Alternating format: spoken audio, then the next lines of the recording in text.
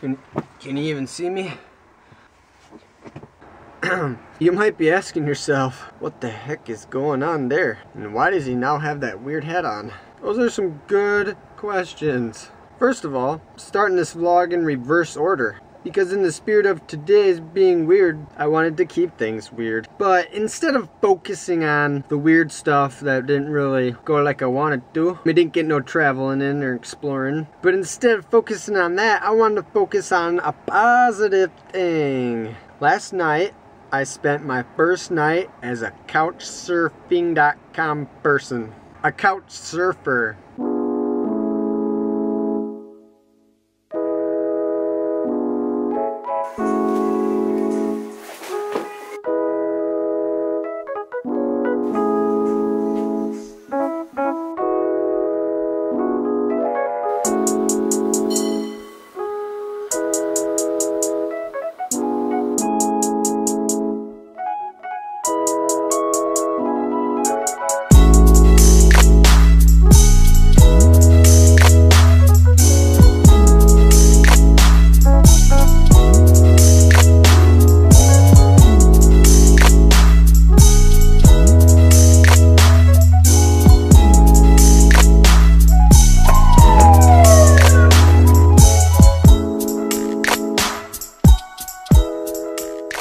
Came out to my Jeep this morning. I parked downtown. Parking citation on my windshield. What's really weird is that from 8 a.m. to like 3 or 4, you can only park in that parking spot for two hours at a time. I knew that 8 o'clock that would start, I would have to move my Jeep by 10. Well, I get out there before 10, freaking parking citation on the windshield already. So I was like, what? This can't be happening. What is going on, man? What is going on? Then I look around, I start to notice, what the heck? Was there a dang earthquake?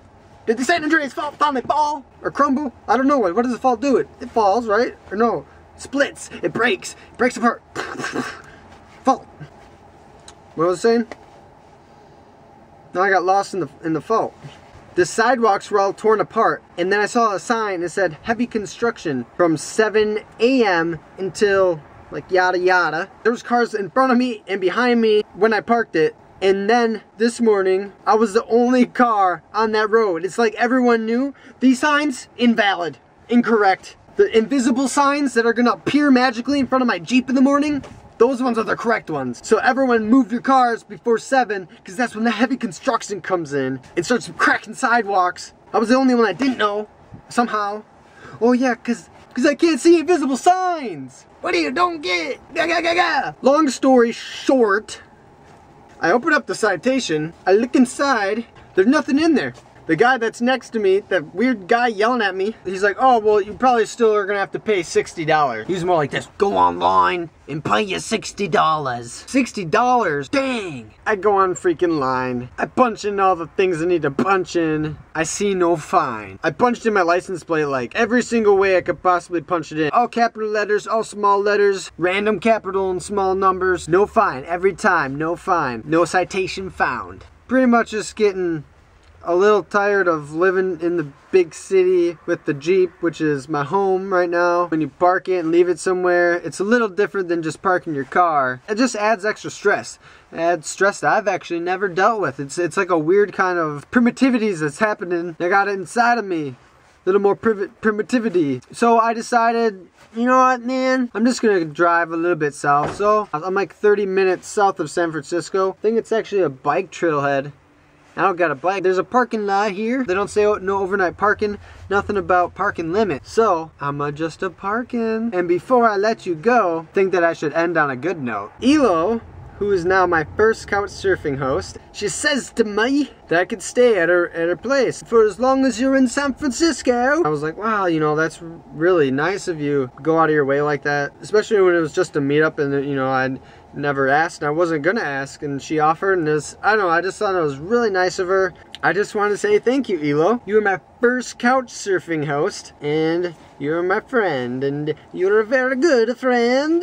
You're very cool uh Elo is a travel blogger and you can see her travel blog at travelingbirds.com. Really cool blog. She's a great writer. Start reading it. You can't stop reading. You just want to keep reading. Oh my gosh, what's next? What's next? What's next? I just need to find out. You are awesome. Thank you so much for being my first couch surfing host, and I am glad to have met you. If you've never tried couch surfing before, I say check it out. Meet some cool people, see some cool places. But be careful because there's people that probably want to eat your skin on there as well. So on that note, I will let you all go. Thank you for hanging out with me. We'll see what tomorrow brings us. I will see you tomorrow.